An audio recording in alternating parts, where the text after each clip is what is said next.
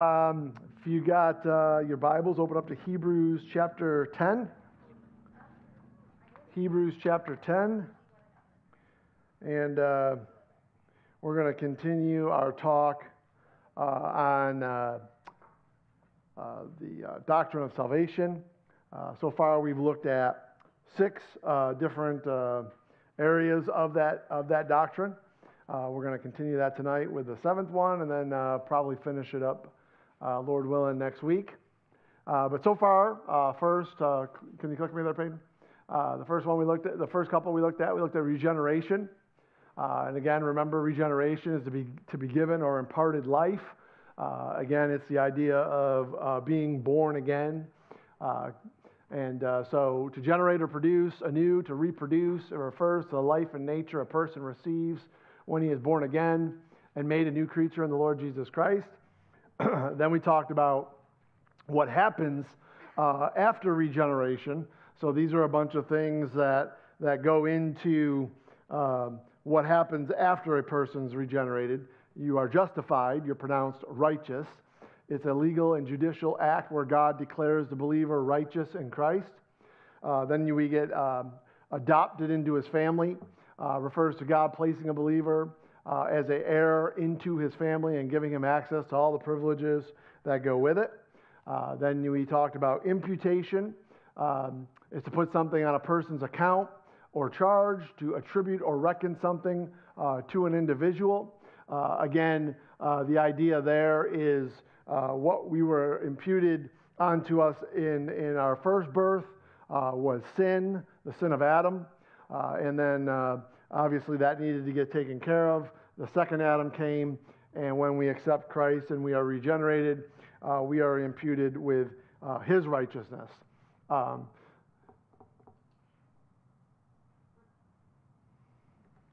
next thing is propitiation. Uh, that's to appease or satisfy someone, to make amends for a wrong uh, that has been committed. Uh, so, again, the way that was done uh, via the cross was through a sacrifice.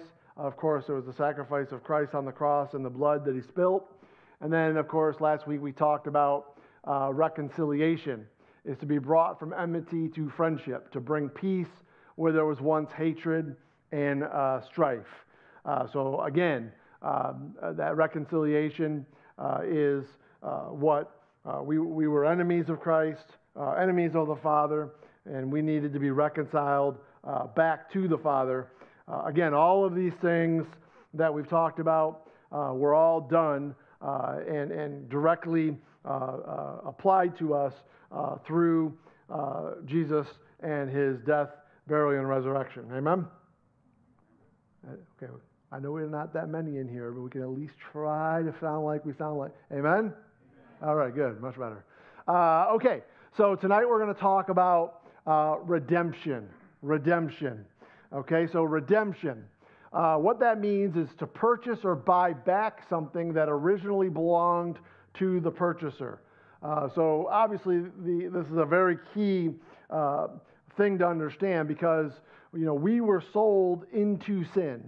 Uh, man uh, was originally uh, man originally belonged, if you will, to to God who created man we got sold into sin at the sin of Adam. And then what redemption is, what, what, was, what was redeemed was, uh, uh, uh, was us as we were redeemed back to the Father. But of course, in redemption, the, you know, one of the key components of redemption is understand that there had to be a purchase price. There was, a, there was something that was in that redemption uh, that had to purchase uh, what, uh, what, what that person back. And of course, we know that what that was uh, in, in uh, Christianity was, was the blood of Christ, right? That's what, what, what it was that, that purchased us back. So, again, uh, all the more reason why it's important to make sure we understand uh, the importance of the blood. Um, so, concerning salvation, it refers to the death of Christ where he buys back the sinner. Uh, again, as I already stated, his blood being the payment. Redemption is the foundation of salvation. It is the basis of the seven previous doctrines that we have uh, talked about. Before God could provide eternal salvation to anyone, he had to pay the ransom required to release the sinner from his sins. Uh, God could not decree salvation on demand. And I think that's very important that you hear what I just said. God could not decree salvation on demand. He literally had to buy it back. So important to understand that because um, something had to be done. God just couldn't sit back and go, okay, man's free of sin. It, it places the importance of us understanding what sin really is, how important we understand what sin is, and that, uh, uh, you know, in, in all the infant, in, in all that the Lord is, in all that He can and cannot do, uh, we have to understand, there, you know, we, we, we will often say that the Lord can't do something, or, or, or you know, there's nothing the Lord can't do. And we got to be a little bit careful of that because there, are, there is certain things the Lord can't do. The Lord can't lie. Okay? Uh, the Lord can't commit sin. okay? So there are certain things that the Lord uh, can't do. Uh, and and in, in the realm of that, one thing that he could not do uh, was just decree uh, salvation to man. Uh, he had to literally do something to pay the price that sin demanded. Now, the reason why I think that's so important to understand, uh, because it kind of answers the question of, um, you know, does God send people to hell? Of course, the answer to that question is no. We send ourselves to hell because He paid the price so that we wouldn't have to go there, right? Um, you know, so uh, again, it's just an, an important part of redemption that we need to understand. So let's talk a little bit about some of these things that fall under this realm of the doctrine of redemption. Why man needs redemption. Why man needs redemption. Another result of Adam eating from the tree of knowledge is that he sold himself to sin, right? We've, we've kind of been talking about that already. He knew that his disobedience would bring death, uh, but he decided that he would rather die with Eve than live with God. We know that from a passage that Paul wrote to Timothy where he says, For Adam was first formed, then Eve, and Adam was not deceived, but the woman being deceived was in the transgression. Adam fully knew what he was doing when he ate of that fruit of that tree. As mentioned before, Adam's sin did not only affect him, it also affected all of his descendants, uh, i.e., the, uh, one we talked about, imputation, it's the imputation of sin, right? that, that was uh, uh, uh, given to all man. The sinful nature he got when he ate uh, is passed uh, on to all of humanity. Therefore, every person on earth is hopelessly bound to sin, as well as to sin's father, uh, i.e., Satan, John 8 44. and unless he is redeemed by someone who is not bound to it, he will die and spend eternity in hell, paying for his, sin, his sins himself. So, okay, what, what, what we just said there obviously is important, right? So, uh, again, unless he is redeemed, unless man is bought back by someone who is not bound to sin, that is the fate of man. Okay, so again, that's, the, that's why we say that uh, God really doesn't send anybody to hell. Okay, God is a righteous God. He had to pronounce judge on the very uh, judgment on the very thing that was uh, completely against him. It, it's, it's, it's in his perfect nature uh, of righteousness uh, to be able to do that. Okay, but only somebody who, who could be righteously judged the sin could be the one to buy back the person that was in sin. It's, it really is a fascinating conundrum to really, really ponder what God did and, and to understand why he had to do it. Uh, it really is uh, a pretty uh, uh, amazing story when we talk about amazing grace. It truly is. Uh, God saw man's pitiful condition and, according to his great love and grace, devised a redemption plan to buy him back from his iniquity, Titus uh, 2.14 tells us that who, he gave himself for us that he might redeem us from all iniquity and purify unto himself a peculiar people that are zealous for good works. The climax of this plan was the sending of his son to earth to give his life uh, as uh, the ransom. Matthew 20, uh, verse 28 tells us, even as the Son of Man came not to be ministered unto, but to minister and to give his life a ransom for many. This is the main reason the Word became flesh. If Jesus came to earth but failed to die a redemptive death, his whole ministry uh, would have been in vain. No matter what else he may have done, all the healings, all the miracles, all the stuff that goes with that, man would still be in his sins, under a curse, and bound for hell. Galatians 3 uh, 10 through 13 tells us, For as many as are of the works of the law are under the curse. For it is written, Cursed is everyone that continueth not in all things which are written in the books of the law to do them. But that no man is justified by the law in the sight of God, it is, it is evident. For the just shall live by faith, and the law is not of faith. But the man that doeth them shall live in them. Christ hath redeemed us from the curse of the law, being made a curse for us. For it is written, Cursed is everyone that hangeth on a tree. So again, uh, we understand that uh, Christ, uh, the, the, the, the, law pronounced a penalty on sin. It was the curse that was pronounced. If you go back to Genesis chapter 3, verses 12 through 18, somewhere in that area right there, you're going to find uh, the, the, the, judgment that was pronounced on, on man, on woman, on Satan, on all, all, all, all of, of the earth uh, because sin entered into the world, death being the primary uh, problem there. Uh, death from two fronts physical and spiritual death, right? So, uh, man got, in effect, on that day, sold into sin. Sin became man's master. Okay, so uh, the only way that that could be uh, remedied, if you will, was by the redemption that where, where Jesus bought us back from sin, and the price that had to be paid was blood because, you know, you go back to what happened when, when, when man ate of that tree. Blood started to course through the veins of Adam, and that, that, that blood was uh, tainted blood, sin blood that was going to lead to death.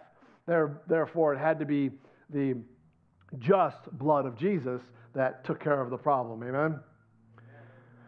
All right that God would go to such great lengths to redeem his enemy uh, shows the extent of the love and compassion he has for us.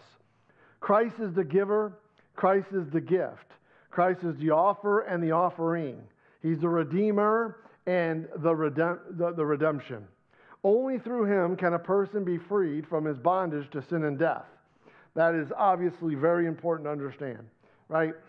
I think we would we would understand that we would know that, but you know, obviously, when you're driving down the street and you say you see the little thing that says coexist, right? And you talk about all these different religions in the world. Listen, what the world doesn't understand when when, when we follow uh, uh, those other religions is that Allah didn't pay the price for sin. Amen. Buddha didn't pay the price for sin. You understand? None of these people paid the price for sin. Sin had a price and it had to be paid for. And that's why it's so very important for people to understand that religion can't save anybody. Uh, uh, it's only by Christ could someone be saved. And, and obviously, we know that. Um, uh, the, the, the, Bible very specifically tells us that, right? Acts 4.12 tells us that there's no other name among, in heaven given among men whereby we, what? must be saved. And of course, Jesus said, I'm the way, the truth, the life. No man cometh unto the Father but by me. So again, uh, everyone uh, that is born into this world is in need of redemption. Everyone is. Only one could say that he wasn't in need, in need of it, right? Uh, hence the reason why the one had to come into the world. Amen? Our natural condition is, is characterized by guilt. Why? Because all have sinned and come short of the glory of God.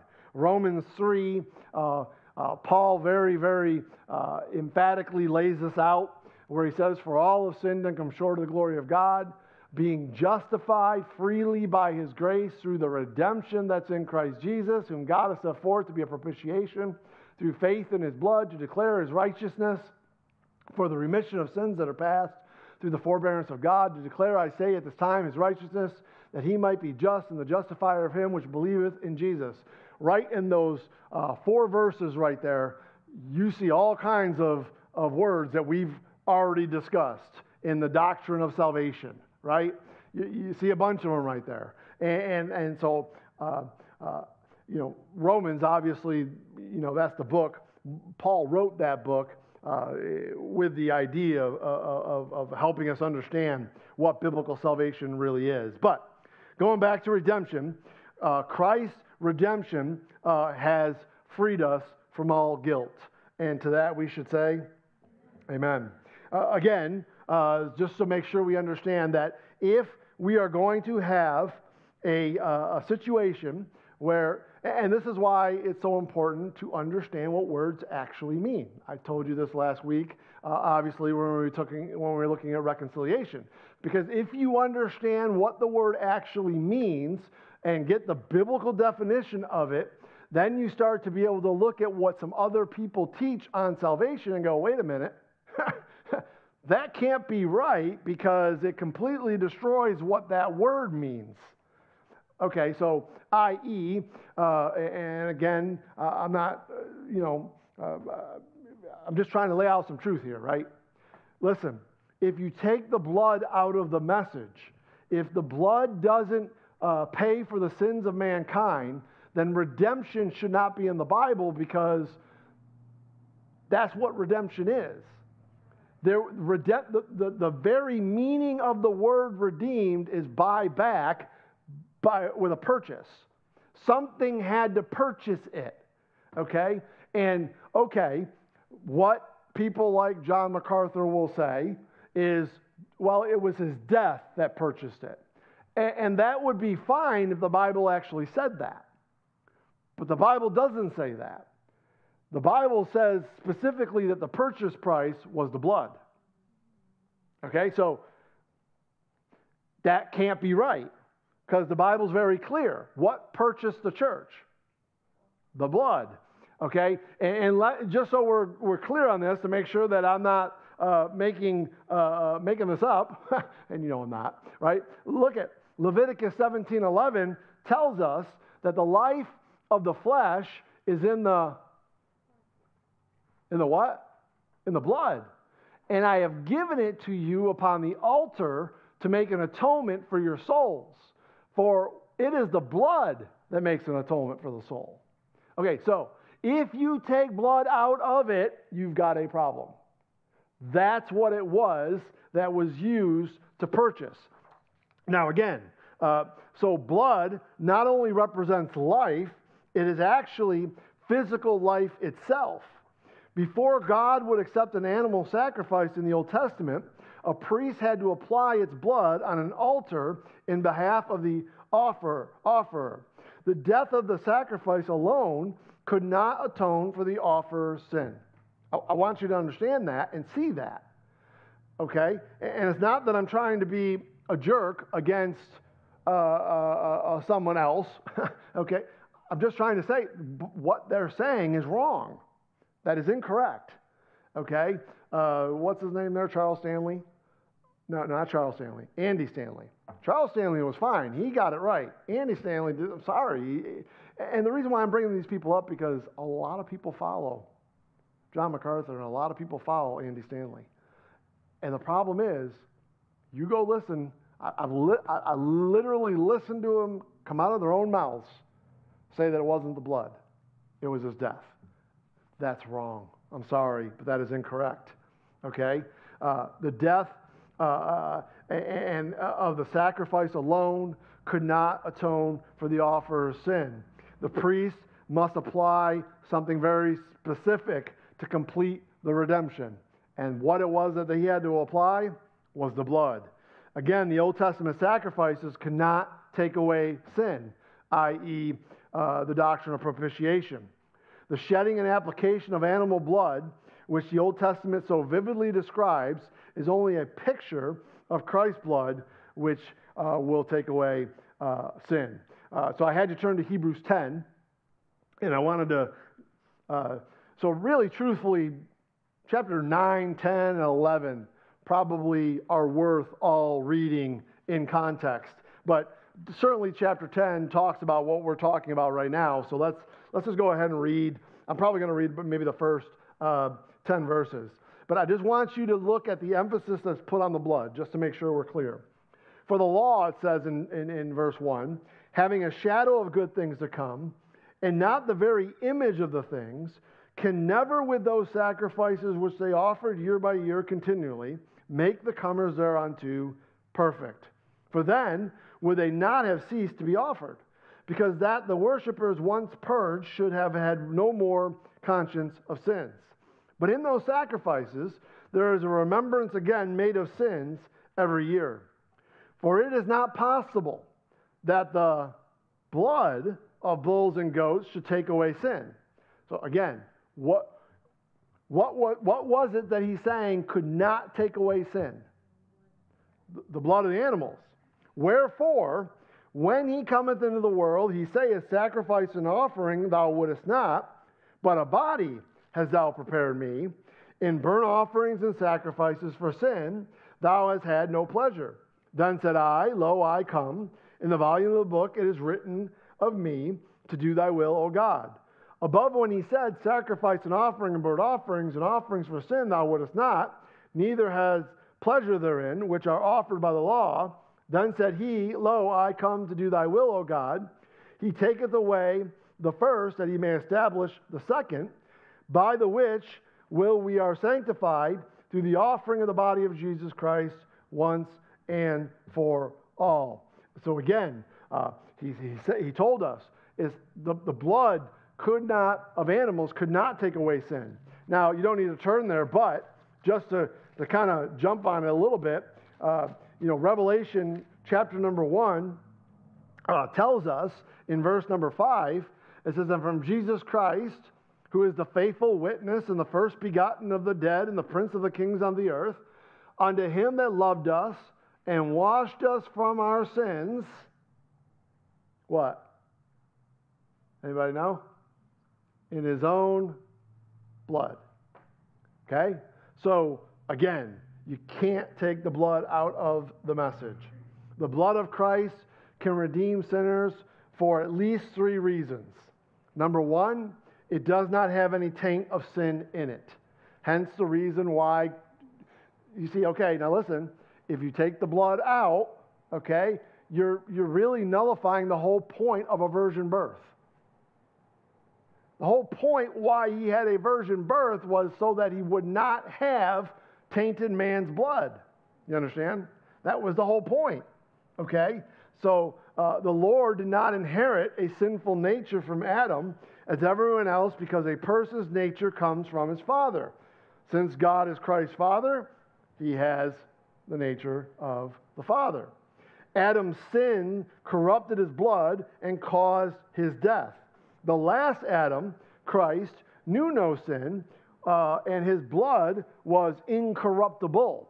First Peter uh, chapter number 1 uh, says this For as much as you know that you are not now, now look, watch what it says here. Point blank. You were not redeemed with corruptible things as silver, gold from your vain conversation received by tradition from your fathers. What was the redemption price? But with the precious blood of Christ, as of a lamb, without blemish and without spot. End of story. Nothing more to talk about. The redemption price was the precious blood of Christ. Amen? Okay? So we can't get that off the table. The blood that flowed through his veins was his father's. Uh, and, and, since he is God, manifest in the flesh, he could be uh, no less. Acts 20, verse 28, obviously tells us, uh, you know, our, this whole entity that we call the church It literally says here, Take heed therefore unto yourselves and all the flock, over the which the Holy Ghost hath made you overseers, to feed the church of God, which he hath purchased. Okay, where, why, why, why is he, why is uh, uh, Luke wording it that way? Why does he say purchased? What's in mind, obviously, is what word? Redemption. Because what was per- how was the church of God purchased? With his own blood. Okay, I don't want to beat it. I mean, we good, we good with that? We got it? This is why the blood's so very uh, important. Uh, the application of the blood. Since God is a spiritual and eternal being, his blood has a spiritual and eternal application to the believer. There is more to Christ's blood than the physical components that were seen at the crucifixion. For it still exists and is available to all, but is only applied to those who receive him. You cannot get Christ's blood without getting him, they are inseparable.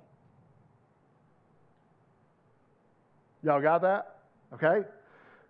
The moment a person believes on Christ, Christ literally washes him from his sins with his blood, uh, i.e., Revelation 1 5, which I already read. What else happens in there is it cleanses his soul from all sin. 1 John uh, 1 7 tells us. But if we walk in the light as he is in the light, we have fellowship one another, and the blood of Christ, his Son, cleanses us from all sin and supplying him with an eternal redemption. So, again, what happens when a person believes on Christ? When they are regenerated, they are washed uh, in his sins with his blood, uh, uh, washed from his sins in his blood. His soul gets cleansed from all sin, and we are supplied with eternal redemption. Okay, why is that important? Obviously, because obviously people will teach you you can lose your salvation. You understand? But the problem is, if the blood applies eternal redemption, how can you lose your salvation? You know, there's a problem there, obviously. Uh, Hebrews 9:12 uh, lets us in on this fact, where it says, "Neither by the blood of goats and calves, but by his own blood he entered in once onto the holy place, having obtained." What does that say right there? Eternal redemption for us. Okay, I might not be the smartest guy in the world, but I can say this I can read pretty well. That's what it says. Okay, what, what, what was it that obtained eternal redemption for us? His blood did. now, I'm not trying to be funny. What I am trying to say is, though, let's, th- let's walk that through for a minute. Let's really think about that. Okay? Because what uh, folks will say is that uh, we can, if they're trying to teach the idea that you can lose your salvation, uh, what they'll say about that is that, you know, that we can uh, do something that will, will get us out of the favor of the Father.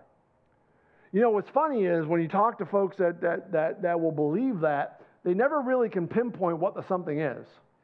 I've often asked them, so what is it that would take me to a place of salvation to non losing my salvation? What would I have to do? Right? Because listen, we can't start waging the height of, of, of sin over other sins. Sin, sin. Right? So any sin, you can't say, well, if you commit adultery, you lost your salvation. Well, okay. So what you're saying then is because Jesus said that if I look upon another woman with with lust in my heart, did I lose my salvation? Right? I mean, you got to start playing through all that. Because really, I think the danger in that is, you know, the Bible says that you may know you have eternal life. Okay, it, that to me, that would tell me that I can never really know because I can never know really know where I'm at. Like, we commit sin on daily basis, everybody does. Like, at what point do I lose my salvation? The next problem with that is what is it if if I can lose my salvation, you have to then play the game of implying that there's something I had to do to gain it. And that's the problem with that. There's nothing I could do to gain salvation. Paul's very clear about that in, in uh, uh, Ephesians chapter 2, 8, and 9. Uh, so, again, now, I understand why people will teach that because, you know, you obviously don't want people getting saved and then just doing whatever the heck they want to do. That, that's not what God is looking for, right? Hence the reason why Paul consistently says, well, should I continue in sin? God forbid, right? No, obviously that's not the, uh, you know, not what uh, a Christian should do. And so I understand why, but to me, that's very, man, that becomes very, you know, that, here's my problem with this is just me talking out loud to you. You do whatever you want with what I'm about to say, okay? Here's my problem with people that say you can lose your salvation and believe in Calvinism. Here's my problem with that.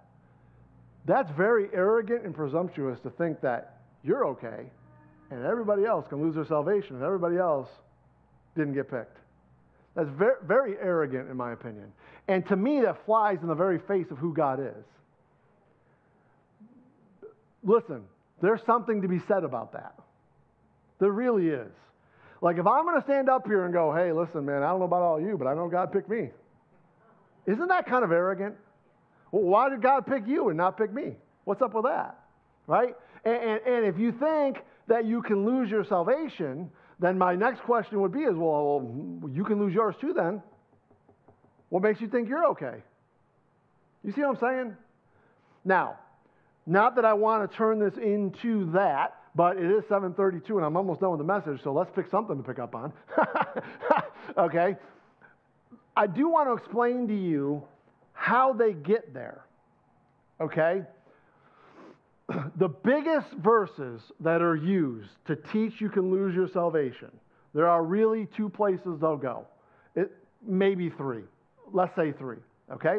So let's look at each one of those real quick and, and let's just we're in Hebrews already, so we don't have to go very far to get to the first one. Track back to Hebrews 6. And let me show you what they'll what they'll say. They'll say, look, look what it says here in verse number 4, Hebrews 6, verse 4 says, For it is impossible for those who were once enlightened and have tasted of the heavenly gift and were made partakers of the Holy Ghost and have tasted the good word of God and the powers of the world to come, if they shall fall away, to renew them again unto repentance, seeing they crucify themselves to the Son of God afresh and put him uh, to open shame. Okay, so if someone was going to teach that you can lose your salvation, there's a verse they'll go to. Now, if you read just verse 4 through 6, boy, it does sound like someone can lose their salvation in there, right? It does sound like that. But there's a couple things I want to take note of. One thing is, now let's make sure we read what it says, because if a person lost their salvation, it says it's impossible for them to get it back. Is that not what it says in verse 6? If they fall away, it's impossible. So if somebody lost their salvation, well, that's it. They're done. It's impossible to get it back. So if that's actually saying what somebody's trying to make it say, well, that's it. Well, now what? you're done. You're, you're, you're on your way to hell. See you later. Okay. Here's the good thing we got to put everything in context, right? Context is always important if we're going to understand a passage. Now, to put this passage in context, I would probably tell you, you might want to start in verse 1, not verse 4. Okay? And in verse 1, it says, therefore. Okay, so right off the bat, because it says therefore, what it now tells us is before we can even understand the context of this passage, we got to go back to chapter 5 and find out what's going on in chapter 5 because he was explaining something in chapter 5 that led to what he's saying in chapter 6. Y'all, y'all with me on this? Okay, does that make sense? Okay, so it's pretty simple, uh, right? So look at verse uh, number 5. It says, uh, chapter 5, It says, So also Christ glorified not himself to be made a high priest, but he that said unto him, Thou art my son, today I have begotten thee. As he saith also in another place, Thou art priest forever after the order of Melchizedek. When in the days of his flesh, when he had offered up prayers and supplications with strong crying and tears unto him that were able to save him from death, and was heard him that he feared, though he were a son, yet were ye, ye were obedient by the things which he suffered, and being made perfect, he became the author of eternal salvation unto all them that obey him. Okay, so remember, what was the purchase price for eternal salvation? Okay, clearly in chapter 5, he's talking about salvation, because that's what he's talking about. You understand? Right? You just saw that, right? Everybody saw that? Okay, without having to read the rest of the chapter, go ahead and read the rest of it on your own time. You'll see. He then gets into chapter 6, and look what he says. Therefore, read those words. Leaving the principles of the doctrine of Christ. I'm no longer talking about the doctrine of Christ and salvation. Leaving those principles, now let's talk about this. Let us go on to perfection Ah, so what he's talking about in chapter 6 is not salvation and you can lose salvation. What he's talking about is lack of maturity, growing in Christ. That is, now that makes a whole lot more sense. And then when you read verse 4, 5, and 6, what he's saying is hey, it's impossible. Once you accept Christ and his sacrifice for you, once you accept his blood for salvation, once you are saved, and you've already, it's impossible to go back to that and, and redo what you already did. That's what he's saying. And that makes a lot more sense because it fits the context of what he's talking about. Not, also to add to the trump while we're at it, this book was written to who? The Hebrews. If I was going to try to pull out the doctrine of salvation, I wouldn't go to the book of Hebrews to pull that out. Now, there are certainly stuff in this book that applies. And the reason why we know it applies because we can trump it with what Paul said in, in, in the church epistles. Okay? But don't go there and start pulling out church doctrine when the book was written to the Hebrews. This book is actually a very tribulational book. It really is. And I personally believe that this book was meant for the Jew in the tribulation. Okay. But regardless of the point, it doesn't matter if you believe that or not. In context, very clear. He's no longer talking about salvation, he's now talking about perfection, maturity, growth. That's what he's talking about. All right, so everybody see that in Hebrews? Are we good there? Okay? That's one place that they'll go to. Another place that they'll go to is Matthew chapter 24. And again, if you just read it for what it says, uh, well, it certainly does seem to imply that you can lose your salvation. Matthew 24, verse number 13, uh, it says, uh, But he that shall endure unto the end, the same shall be saved. Okay, so obviously, what that's implying right there is that a person needs to endure to the end to be saved. And if at any point they don't, they can lose their salvation. Okay, it, it, it, from that standpoint, if I just read verse 13, well, yeah, uh, that would imply you can lose your salvation. Here's the problem, okay? This is why Paul says, rightly divide the word of truth, because if you don't, you're going to start applying things to the wrong dispensation. Here's the issue with what's going on here. In chapter number 24, it's very clear that what Jesus is talking about is the tribulation. That's the period of time he's talking about. If you were to take chapter 24 and cross reference it with Revelation chapter 6, you will see in the very order that the seals are released in Revelation chapter 6, Jesus is, is talking about what's going on. He's talking about the tribulation. Okay, well, now here's the, here's the deal. In the tribulation period, do people get saved the same way they get saved now? Clearly, in the book of Revelation, the answer is no. Listen, I, I've studied the book of Revelation up, down, left, right, backwards. I, I, I don't know that I'm going to sit up here and tell you that I'm an expert on the book, but I'd like to think I can play with anybody on that one. I'm, I, I, I'm pretty well read in the book of Revelation, for whatever that's worth. Okay? And all I'm telling you is there are some very, very key things going on in Revelation that if you miss it, you are going to start applying stuff to the wrong people. Let me give you an example of what I mean by this, okay? In Revelation chapter number one, it told us that who was washed in the blood?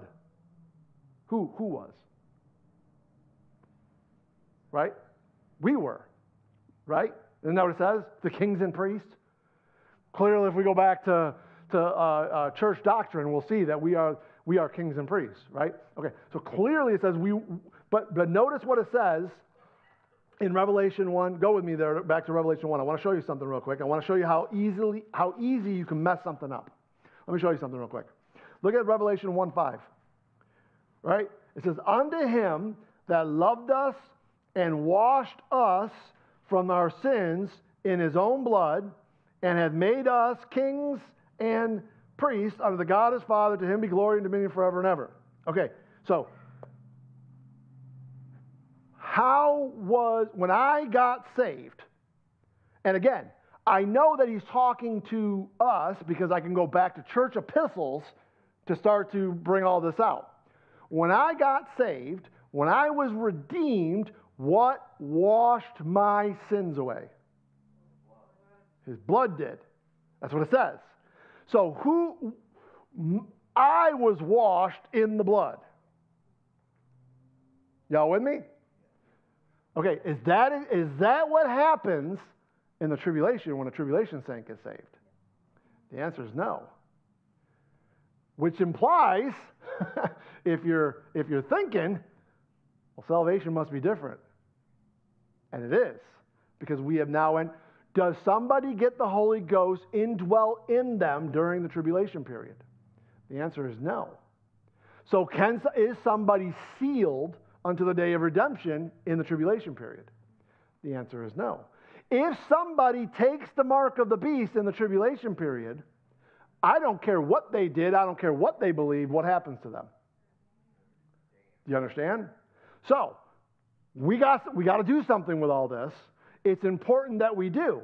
I'm just trying to help you understand why some of this stuff gets taught. Okay, why would somebody teach that you can lose your salvation in the first place? Maybe not every time, but I'm going to put my nudge. They probably think the church goes through the tribulation. They probably do. Because why they got there is because they went into tribulation passages and saw that someone could lose their salvation. And the reality is, you can. You do have to endure to the end. You cannot take the mark of the beast. The Bible's clear on that. But now let me tell you, let me show you what happens to somebody that gets saved. And again, loosely saved because you can lose your salvation in the tribulation. Because if you take that mark of the beast, you're done. Okay, but let me show you what happens to that person. Go to, go to Revelation 7. Now watch.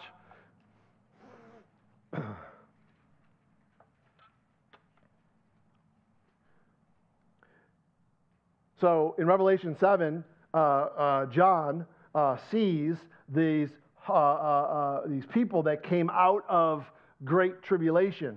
Look what he says here in verse 13. It says, And one of the elders answered, saying unto thee, actually, let's go, yeah, that's fine. And, and one of the elders answered, saying unto me, What are these which are arrayed in white robes, and whence came they? Where'd they come from? And I said unto him, Sir, thou knowest. And he said to me, These are they which came out of and have their robes. All right, what's the difference? The robes were washed. Back in Revelation 1 5, the church, what was washed? I was washed. In, in, in the tribulation, what gets washed? The robes do. Do you see the difference? That's different. That's a very identifiable difference that you have to do something with. You cannot just go, well, well, you know. No, no, no, no, no, no. There's no, oh, well, you know. Why would he say it the way he said it? It's because there's something different going on. That's why. They were not washed in the blood of the Lamb because the Holy Spirit does not indwell them in the, in the, he couldn't. Do you get it? He couldn't. Do you understand? Now, all that helps us understand something else, which is obviously very important. The church does not go through the tribulation. okay? Do you see why all this stuff matters? It really does. You really got to read what it says. Because if you don't, hmm, man, you can run yourself into a little bit of trouble. And I don't mean that to be disrespectful, but at the same time, there's a reason why God says what he says the way he says it. And, and you, if we can just be okay with that, and, and listen, here's the other part of all that. We have to be okay with, you know what? Maybe I was wrong about that. You know? Why is that so bad? Why can't God just be right and every man a liar? You know, you know how many times I've had to go, you know, I don't know if I was right about that. I think maybe, well, I mean, I'm, I'm reading what that says right there. Boom, I guess I got to have to change my mind on that one. We got to be okay with that. Okay, so Matthew 24, uh, number one, right? It's clearly a tribulation passage. When we go through the book of Revelation, I will drown that baby home for you all day long. Obviously, it's a very clear tribulation passage. Here's the other thing about that, too, though, is again, who was the book of Matthew written to?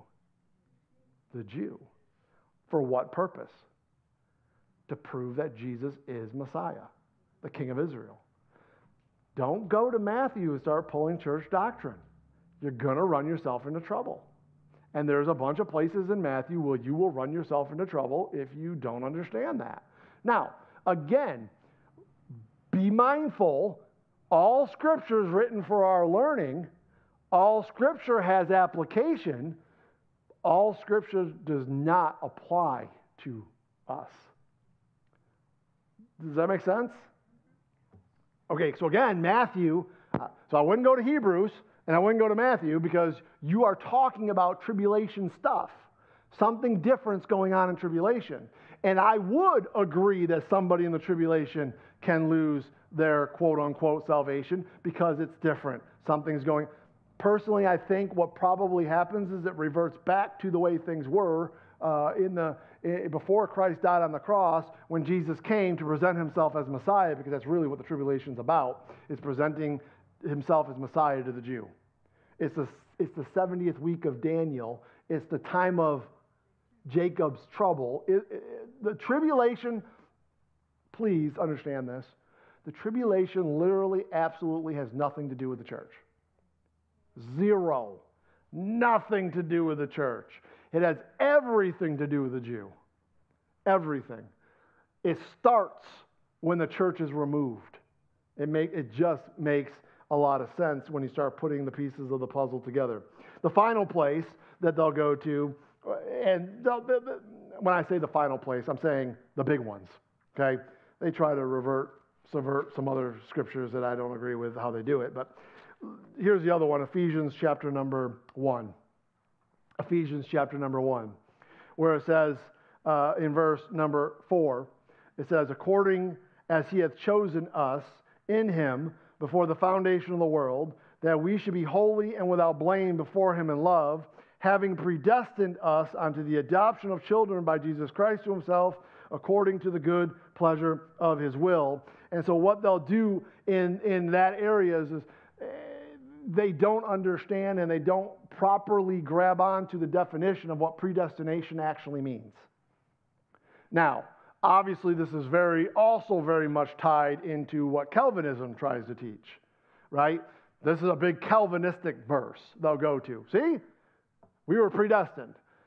Here's the, here's the, here's the reality, my friends, okay? Read the passage. what was predestined? The church was predestined, not us. The us becomes ye in verse what? 13? In whom ye also trusted. After that you heard the word of truth, the gospel of your salvation, in whom after that you believed, you were sealed with the Holy Spirit of promise. Uh, again, uh, just applying things and putting them in their, in their, proper context solves all the problems, right? Uh, when we went through the book of Ephesians, we really broke that down quite a bit. But, anyways, uh, I, I, hope that helps you uh, for whatever it's worth. So, in summary, in summary, the precious blood of Christ did and does the following A, it purchased the church. B, it bought, uh, brought justification. C, it brought reconciliation. D, it brought propitiation. E, it brought sanctification. F, it brought redemption. G, it washes the believer. H, it cleanses the believer. I, it makes the believer nigh. Uh, and J, it gives the believer peace. So, uh, uh, all of that is tied into redemption. That's a lot of stuff right there. This is why understanding redemption and getting it biblically correct is vitally important. You got to make sure we get this thing right. We can't make this mess this up. How about this? The two ordinances of the church also speak of Christ's redemptive uh, work. The first, baptism, shows his death to sin and the believer's identification with him. Um, we could go to Revelation, or I'm sorry, Romans chapter 6 and just read the whole chapter, and we'll see where that all plays into redemption. But then, how about the Lord's Supper? The broken bread uh, of the Lord's Supper represents his, his body, and the, and the blood uh, uh, is represented by the fruit of the vine. Uh, and, and, again, uh, you know, Matthew 26, verse uh, 26 through 29 talks about how his body would be broken and, and his blood is for the New Testament, for many, the remission of sin. And then in Romans 6, uh, again, he talks about uh, this idea of know you not, how you are baptized into Christ and baptized into his death, uh, buried with him ba- baptism. And he goes through and he talks about how we were planted in his likeness and in the likeness of his resurrection, knowing that our old man is crucified with him. So again, both ordinances of the church, you know, you have to ask, you know, of all the things God could have put as ordinances, why did he pick these two? Well, because both of them speak of redemption. Amen? Amen. The believer's response and responsibility. The believer must remember that since Christ has bought him, he is no longer his own. Uh, 1 Corinthians 6, right? We were bought with a price. Uh, and of course, now we know what that price was. And if you didn't know, you should know. By the way, uh, that price is worth far is far worth far above rubies. Uh, Proverbs 31:10, if I'm right on that, right? Uh, rubies, of course, are red, right?